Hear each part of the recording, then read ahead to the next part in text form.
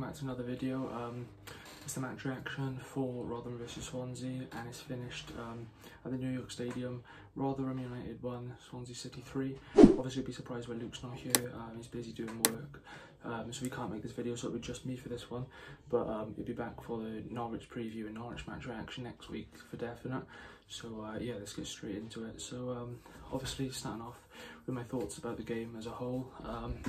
I thought, you know, first half we were really dominant. Two great strikes from Hourihane and Grimes. Obviously, that's two and two now for Hourihane and three and three for Grimes in all competitions.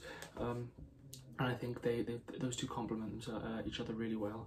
Since the arrival of Hourihane, Grimes has been playing better as well, and Hourihane's helped the team a lot. Um, not just scoring, but also his creativity and his passes as well. And I thought he played really well today.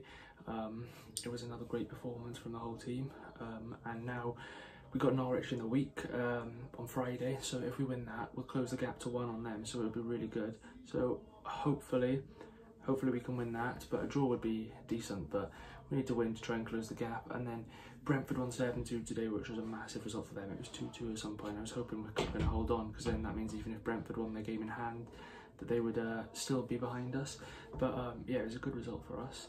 Um, hopefully now we can use it to push forward um, and hopefully pick up some more results now. Uh, we're still unbeaten in the league uh, in 2021, um, so that's a great start. Um, 14 wins in the season now for us, um, only four losses, so I'm hoping that we can uh, win against Norwich and try and close the gap on them because obviously they're top.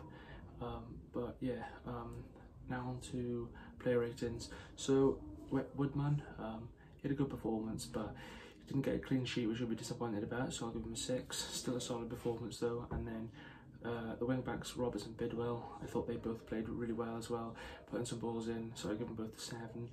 Uh, the centre backs were solid. Bennett, I give him a six. Guehi, I'd give him a six. And Cabango, I'd probably give a seven because I saw a bit more Cabango than the other two. Um, and then in midfield, it's Grimes and Hourihane. Give them both an eight uh, both picking up a goal. Dan's I'd give a seven. I thought he was creative, but lacked a bit of movement sometimes um, going forward. Um, and then up front, it was Ayew and Lowe. They both had really quiet games, surprisingly, but I'm going to give them both a six. They weren't bad, but just weren't in the game very much. And then um, the players that came on, it was Fulton. I'm going to give him a seven because he came on and got a goal. And also Jordan Morris as well gets his uh, first appearance for the club. Um, I thought he thought he was alright. We didn't really see much of him, but he was decent. I'll give him a five. Wasn't bad, wasn't great. Had a few touches, but hopefully more to come from him anyway. And now finally onto my man of the match. So it's really tough, but I'm gonna go with. I'm gonna give it to. Uh, I'm gonna give it to Matt Grimes because close between him and Hourihane, but. Um, he played well um, as well as the goal, so did Hourihane as well, but edge it to Grimes. Uh, some great passes, some great interceptions, balls over the top, and that finish as well. What a finish that was. Uh, corner, comes straight back out, hits it. Most players would just blaze it over the bar, but he kept it down low.